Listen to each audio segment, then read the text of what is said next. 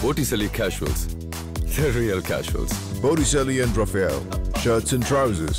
சமூக நலத்துறையின் நிதியில் மோசடி செய்ததாக தொடரப்பட்ட வழக்கில் அதிமுக முன்னாள் அமைச்சர் இந்திரகுமாரி மற்றும் அவரது கணவர் பாபு குற்றவாளிகளாக அறிவிக்கப்பட்டு தலா ஐந்து ஆண்டுகள் சிறை தண்டனையும் பத்தாயிரம் ரூபாய் அபராதமும் விதிக்கப்பட்டுள்ளது கடந்த ஆயிரத்து தொள்ளாயிரத்து தொன்னூற்றி ஒன்றாம் ஆண்டு முதல் ஆயிரத்து தொள்ளாயிரத்து தொன்னூற்று ஆறாம் ஆண்டு அதிமுக ஆட்சி காலத்தில் தமிழக சமூக நலத்துறை அமைச்சராக இருந்தவர் இந்திரகுமாரி அந்த நேரத்தில் வாய் பேச முடியாத காது கேளாத குழந்தைகளுக்கான பள்ளி துவங்குவதாக இந்திரகுமாரியின் கணவர் பாபுவின் இரு அறக்கட்டளைகளுக்கு சமூக நலத்துறை சார்பில் பதினைந்து லட்சத்து நாற்பத்தி ஐந்தாயிரம் ரூபாய் நிதி ஒதுக்கீடு செய்யப்பட்டது.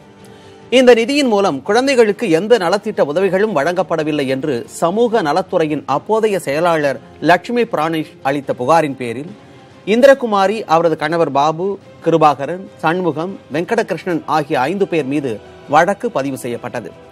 இந்த வழக்கை விசாரித்த எம்பி எம்எல்ஏக்கள் மீதான வழக்குகளுக்கான சிறப்பு நீதிமன்றம் முன்னாள் அமைச்சர் இந்திரகுமாரி அவரது கணவர் பாபு மற்றும் சண்முகம் ஆகியோரை குற்றவாளிகள் என அறிவித்தது. குற்றம் சாட்டப்பட்ட கிருபாகரன் இறந்துவிட்டதால் அவர் மீதான குற்றச்சாட்டுகளை கைவிட்ட நீதிபதி வெங்கடகிருஷ்ணன் மீதான குற்றச்சாட்டுகள் நிரூபிக்கப்படவில்லை என்று கூறி அவரை விடுதலை செய்து தீர்ப்பளித்தார். முன்னாள் அமைச்சர் இந்திரகுமாரி மற்றும் அவரது கணவர் பாபுவுக்கு தலா ஐந்து ஆண்டுகள் சிறை தண்டனையும் ஊனமுற்றோர் மறுவாழ்வுத்துறையின் முன்னாள் இயக்குனர் சண்முகத்திற்கு மூன்று ஆண்டுகள் சிறை தண்டனையும் பத்தாயிரம் ரூபாய் அபராதமும் விதித்து தீர்ப்பளிக்கப்பட்டுள்ளது. அதிமுக முன்னாள் அமைச்சரான இந்திரகுமாரி தற்போது திமுகவின் இலக்கிய அணியில் பொறுப்பில் இருப்பது குறிப்பிடத்தக்கது.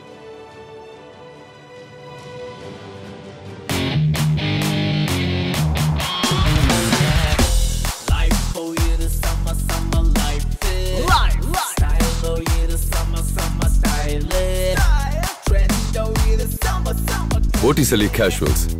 The real casuals. Botticelli and Raphael, shirts and trousers.